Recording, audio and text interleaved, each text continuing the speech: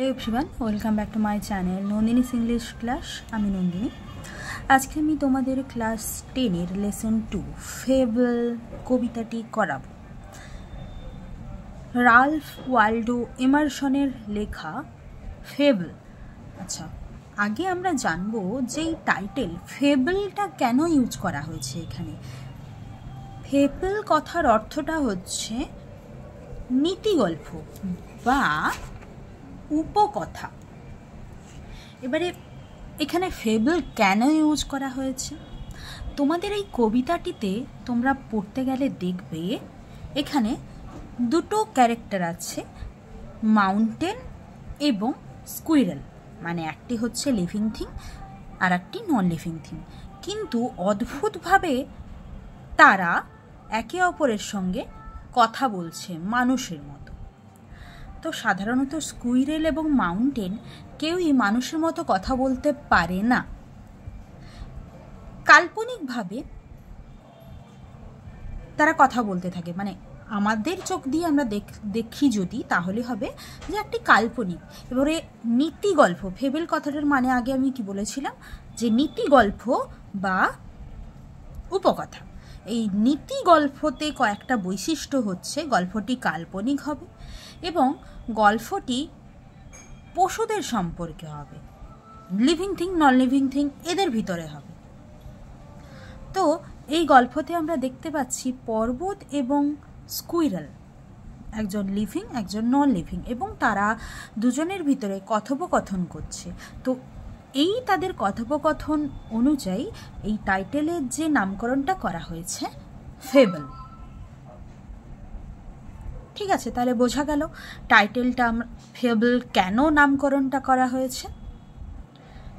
এবারে চলো দেখে নিই the author and the text কবি পরিচিতি।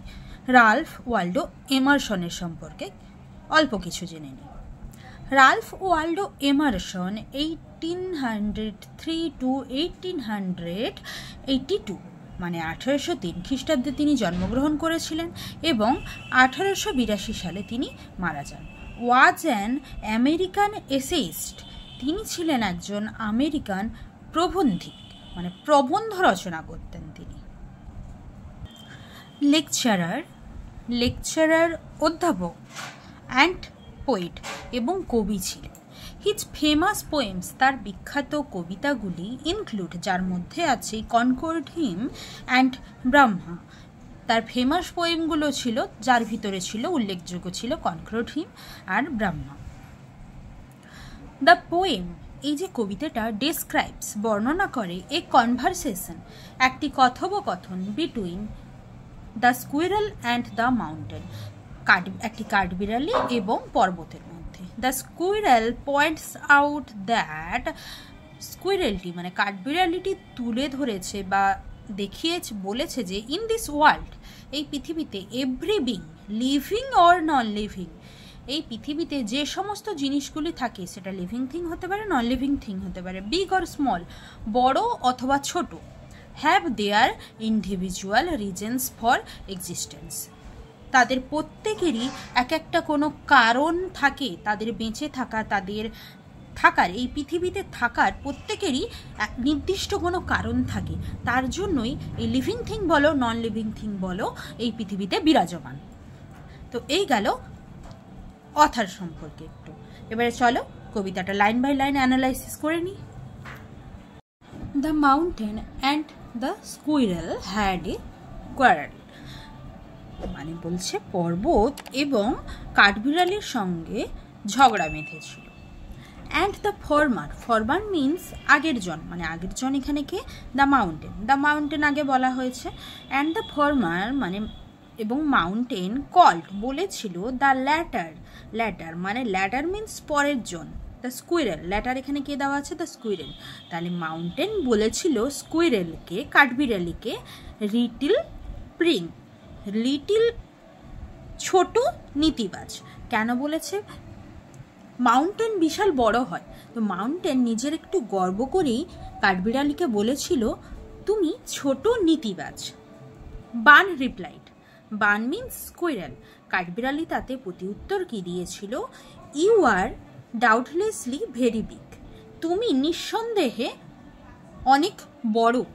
বাট কিন্তু অল সর্টস অফ থিংস সমস্ত জিনিস অ্যান্ড ওয়েদার এবং আবহাওয়া must be taken in together একসঙ্গে নিয়ে to make up a year একটি বছর তৈরি হয় অ্যান্ড এ স্পেয়ার এবং পরিমণ্ডল একটি তৈরি হয়। স্পেয়ার মিন্স হচ্ছে পরিমণ্ডল বলতে পারো আবহাওয়া মণ্ডল বলতে পারো এই সব কিছু নিয়ে একটি বছর এবং একটি পরিমণ্ডল তৈরি হয়।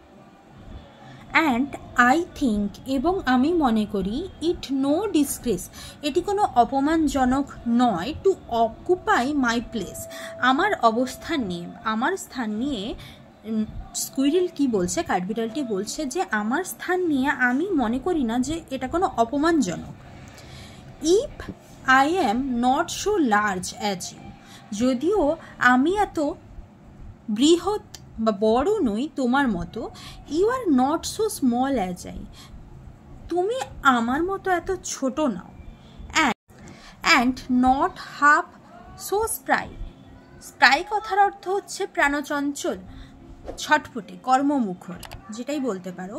যে তুমি আমার মতো এত ছটফটে বা কর্মমুখর নও। আই উইল নট ডিনাই আমি অস্বীকার করছি না। You make a very pretty squirrel track তুমি তৈরি করো খুব সুন্দর একটি স্কুইরেল মানে কাঠবিড়ালি, আর ট্র্যাক মানে তো রাস্তা মানে কাঠবিড়ালির রাস্তা। এখানে কাঠবিড়ালির রাস্তা বলতে কি বলছে? দেখো, পাহাড়ের চারপাশে আমরা যদি লক্ষ্য করি, দেখব একটা হালকা ছোট পথ তৈরি হয়। তাতে কাঠবিড়ালি খুব সহজেই যাতায়াত করতে পারে।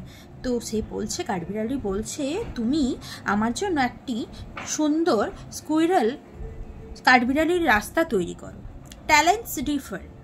আমাদের দুজনের ভিতরে যে কাজ করার ক্ষমতা, ট্যালেন্টগুলি আছে, সেগুলি ভিন্ন ধরনের। All is well. সবটাই ভালো। And wisely put. এবং বুদ্ধিমত্তার সাথে আরোপিত if I can not carry forest on my back আমি যদিও আমার পিঠে বন জঙ্গল বয়ে নিয়ে যেতে পারি না। এখানে বন জঙ্গল বয়ে নিয়ে যাওয়ার কথার অর্থ হচ্ছে যে পাহাড় পর্বতে প্রচণ্ড পরিমাণে গাছ জন্মায়। তো সেটার সঙ্গে এটা তুলনা করা হয়েছে। Neither can you crack a nut তুমিও তেমনিভাবে মানে কে বলছে? বান বলছে, স্কুইরাল বলছে মাউন্টেনকে যে তুমিও আমার মতো বাদাম ভাঙতে পারো না। তো এটা ছিল ফেবেল কবিতাটা। এবার এর ভিতরে একটা নীতি কথা আছে, মোরাল আছে। মোরালটা কি হচ্ছে? না in this world every thing living thing or non living thing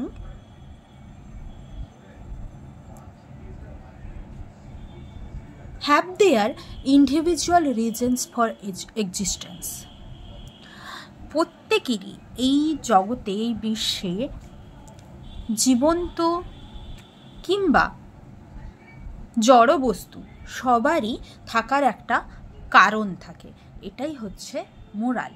এই living thing non living thing এই সব কিছু নিয়েই এই ওয়ার্ল্ডটা তৈরি। তো আজকের কবিতাটি এইটুকুই। আজকের কবিতা সম্পর্কে যদি তোমাদের কোনো বুঝতে অসুবিধা থাকে, তো অবশ্যই আমাকে কমেন্ট বক্সে কমেন্ট করে জানাও। এবং আমার চ্যানেলে যারা আজকে নতুন ভিজিট করেছ, তাদের উদ্দেশ্যে বলছি, আমার চ্যানেলটি সাবস্ক্রাইব করে পাশে থাকা বেল বাটনটি ক্লিক করে অল অপশানটি ট্যাপ করে দিও, যাতে পরবর্তী ভিডিও নোটিফিকেশান তোমরা সহজেই পেয়ে যাও। পরের ক্লাসে অন্য একটি নতুন ভিডিওর সঙ্গে আবার দেখা হবে। আজকের মতো, টাটা।